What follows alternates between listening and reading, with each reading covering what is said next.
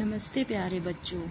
आज हम इस वीडियो के माध्यम से आपकी हिंदी व्याकरण की पाठ्य पुस्तक गुलमोहर से पाठ चार को पढ़ेंगे। पाठ चार का नाम है शब्द भंडार। शब्द भंडार में भाग फ़र्स्ट है पर्यायवाची शब्द। अब देखो, यहाँ पर हमारे सामने दो चित्र हैं। पहले चित्र के नीचे एक वाक्य लिखा हुआ है। देखो क्या लिखा है।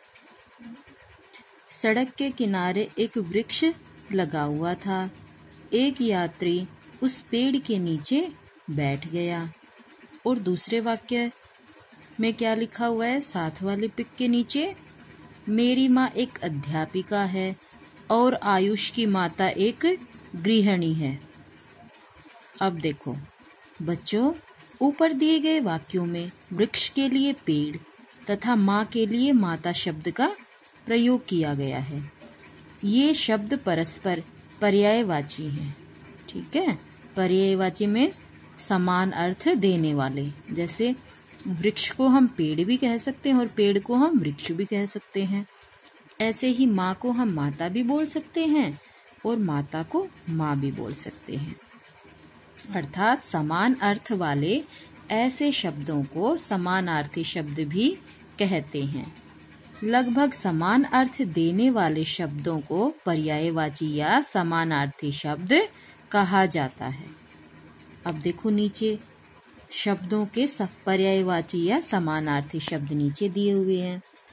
जैसे अंधेरा।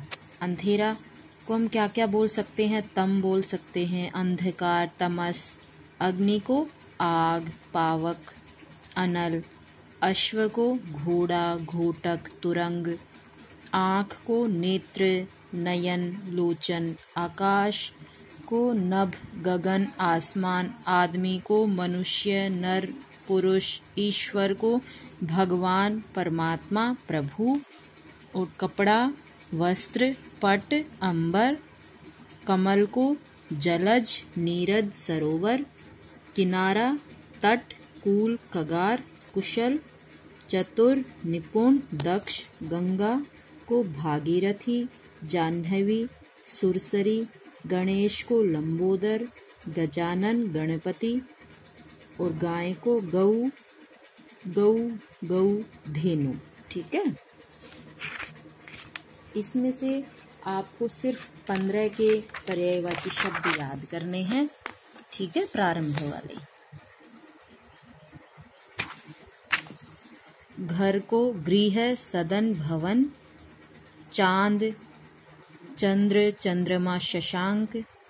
देखो, इसी प्रकार यहाँ पर बहुत सारे शब्द हमें दिखाई दे रहे हैं। सबके समानार्थी तीन तीन शब्द यहाँ पर लिखे हुए हैं। तो बेटा, मैं आशा करती हूँ कि आप सभी को पर्यायवाची शब्द समझ में आ गए होंगे कि पर्यायवाची शब्द किसे कहा जाता है, क्या होते हैं। ठीक है? धन्यवाद।